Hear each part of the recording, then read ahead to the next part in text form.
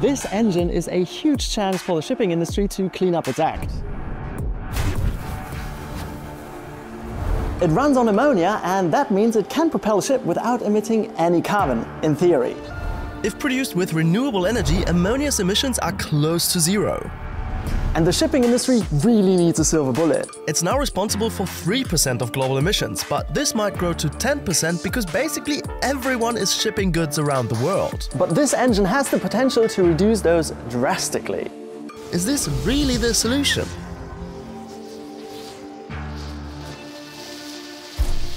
Quick chemistry lesson before we get to the engine. Ammonia, which even your body produces in your sweat or your pee, consists of one nitrogen atom and three hydrogen atoms. What's not in there? Carbon. That's why there aren't any carbon emissions. In the real world, it looks a bit different, but more on that later. Another advantage of the missing carbon atom is that it makes ammonia cheaper compared to other fuel options like methanol. That's because for methanol to be carbon neutral, you must capture the carbon it emits when burned, and that's quite expensive to do. With ammonia, there's no need for this. So projections are that ammonia will dominate the ship fuel market with a share of 35 to 60% in 2050. But a few pieces of the puzzle are still missing. A very big one, the engine. Well, that's one massive engine. As of now, ammonia engines for large container ships have yet to go into commercial production. I'm really curious how this is actually going to save any fuel. As you can see, uh, there are four cylinders. Most people don't realize it's actually a cylinder uh, because they are so enormous. Each of them is 50 centimeters wide. This is the research facility of engine designer MAN, some might know them for their trucks, but they also develop really big engines for really, really big ships. They were the only company that would let us film an ammonia engine in development. It packs 6,700 horsepower and when it's finished, it's going to be as big as a family home. And this is the guy showing me around today, Rasmus Holm Bidstrup. How is this engine different from a normal diesel engine? First and foremost, we need to apply an additional set of components on the engine. And this is essentially the components you see right here. So first of all, you have the yellow piping right here. These pipes deliver the ammonia into the cylinder to combust, but they are not the only vital parts. So one of the most essential components uh, on our ammonia engine is actually the ammonia fuel injectors. Ammonia doesn't have a very, very high calorific value. So, so what is calorific value? It is essentially the energy it can contain within a certain volume.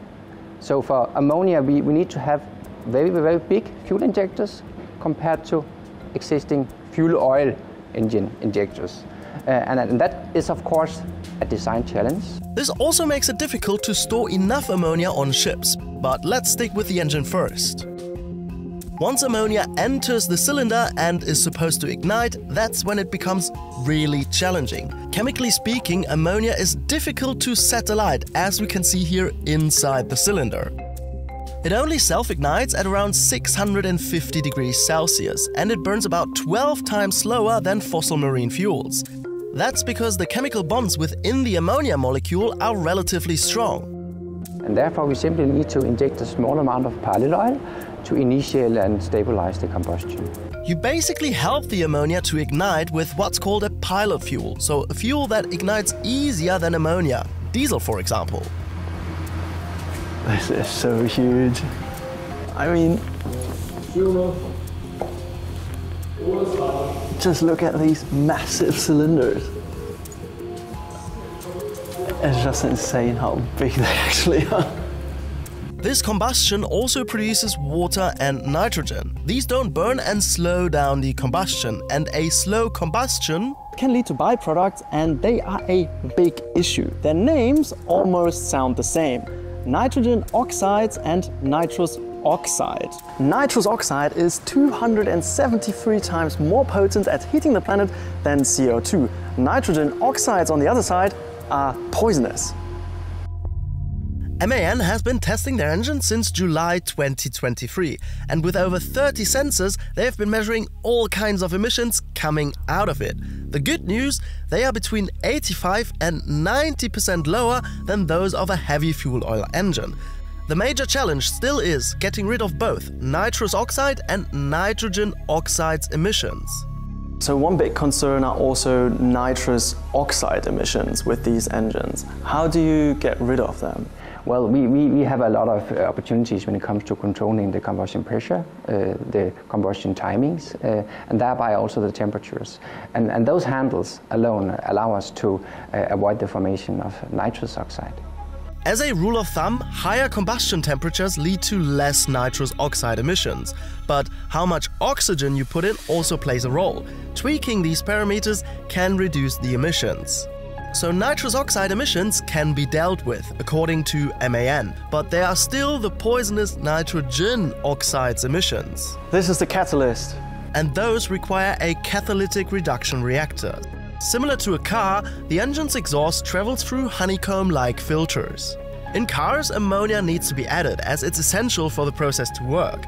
But in an ammonia engine, you already have some ammonia leftovers in the exhaust gas. Nitrogen oxides and ammonia enter, travel through the layers and out comes nitrogen, water vapor and a small amount of nitrogen oxides compliant with emission regulations.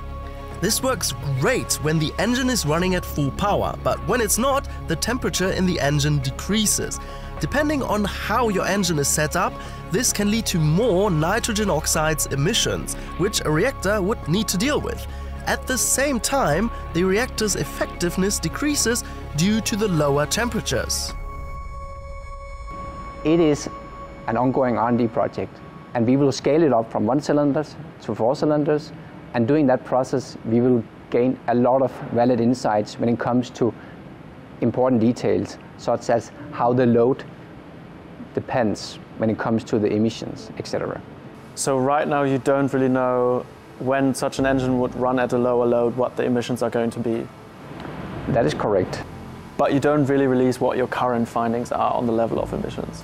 This is an ongoing R&D process, uh, and, and once we scale it up, once we get clarity and transparency, of course, those details will be communicated to the market. You're being a critical journalist now. Yeah, It's like we are not marketing people.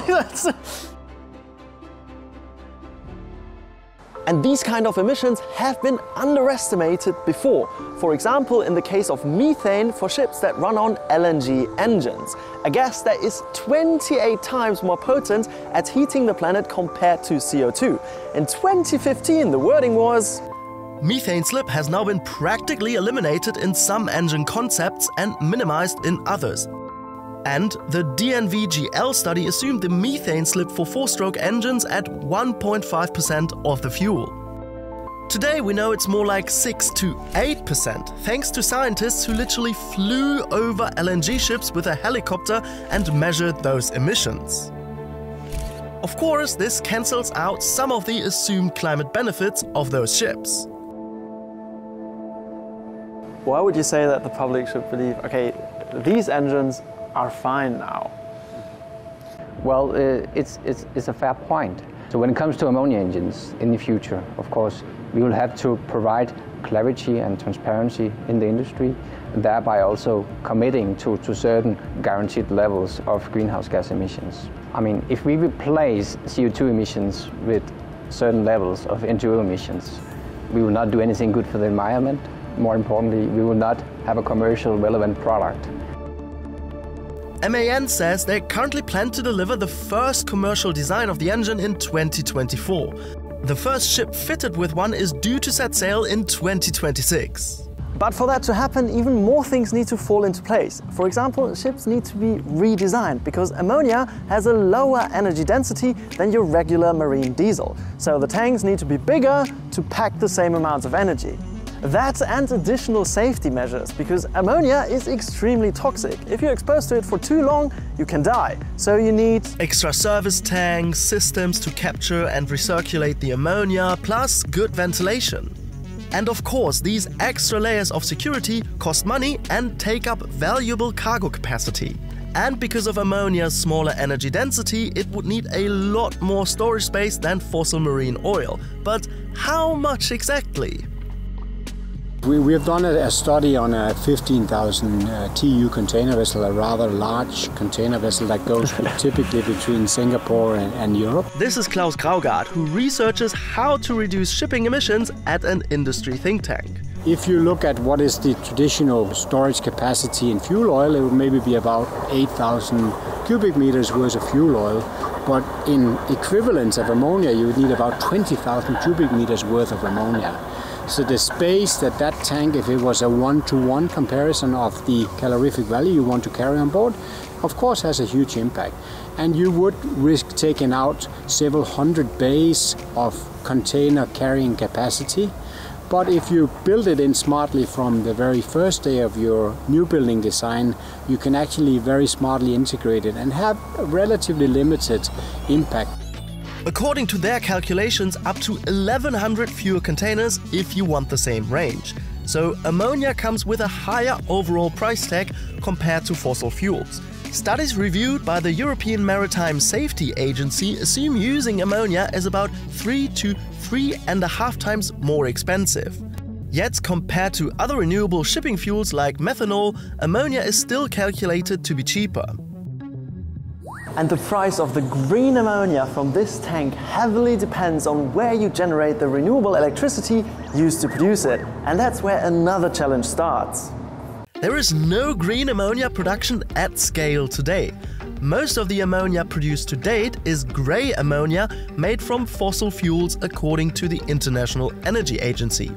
While burning it is clean, lots of carbon gets released before that. Total emissions are even higher than those of conventional marine fuels. For the production of green ammonia, you use renewable electricity to split water into hydrogen and oxygen using a process called electrolysis. In a separate process, you isolate nitrogen from the air. Then, very simply speaking, you put nitrogen and hydrogen together, heat them up, put them through an iron catalyst in a process called Haber-Bosch, and at the end of this process you get NH3, so ammonia.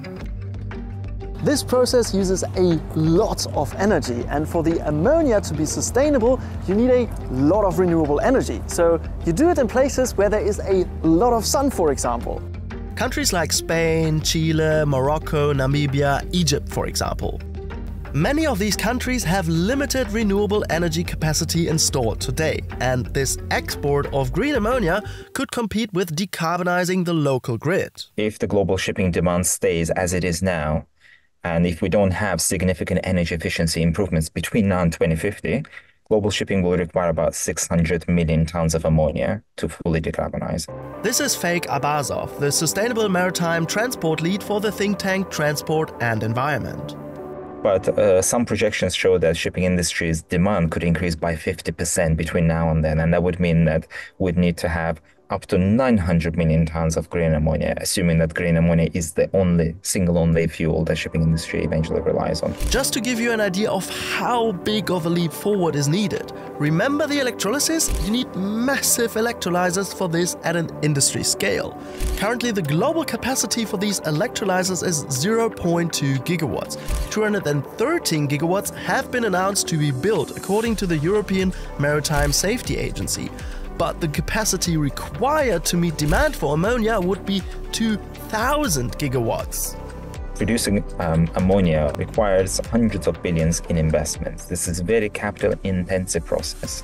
And uh, for project developers to cross that bridge and to make that investment, they need to either sell the fuel in advance, sign some sort of long-term um, contracts, or they need to be market conditions that gives them the confidence that uh, even without the offtake agreements, there will be the market for them to be to be able to market um, those fuels. But where does this leave us when looking at ammonia as a shipping fuel? Like with every new tech, it looks great on paper. No or a very small amount of emissions, engines can be retrofitted, and it's scalable. Everything is perfect. But then companies won't release their data. Currently, they're testing it on one cylinder. They need to do four. Then they need to build an actual commercial sized engine and test that for a longer amount of time to get more data. So this technology needs to complete a long list before it can bring down shipping's emissions by 90%. If you did like this video, please comment on it, like it, share it, and don't forget to subscribe to our channel. We post new videos on the environment every Friday.